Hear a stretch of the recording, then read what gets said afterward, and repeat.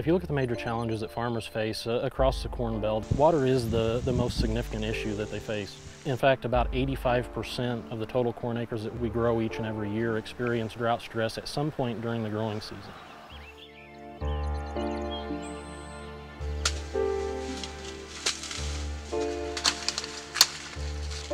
Many of these DeKalb root structures have a very deep, robust root system and they'll explore uh, a good volume of soil, clear down to almost five feet deep.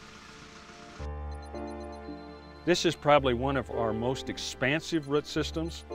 Um, it's a 107 day maturity level and the roots went all the way to 58 inches but the majority of the root system, the first 85% went right to about 38 inches. That is pretty striking. Today here in Gothenburg, Nebraska, we are looking at Pioneer Aquamax hybrids against DeKalb DroughtGard hybrids. The setup here was I kept it pretty well irrigated until about uh, pollination time, then I started to stress it. And the roots really had to go deep to get every last bit of moisture they could. So this is just like Christmas today because we've been growing these corn plants and now we get to unwrap the root systems down here and see what we've got going on below the ground. We've got some root systems here in the DeKalb that are really gonna work for growers and, and really come out and put some grain and bushels in the tank.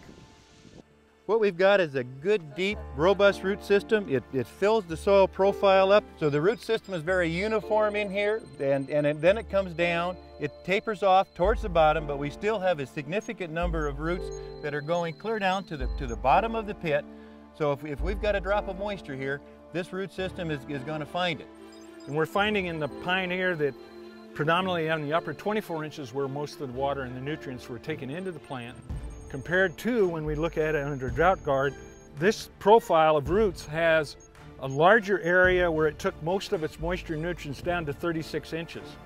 And what that has done is allows the corn plant to fill more kernels per cob and that should pronounce into yield. Drought conditions are really a place where DeKalb shines. It takes a total package. You not only have to have a good root system, but you've got to have something that'll take heat and stress. That's what DeKalb will do.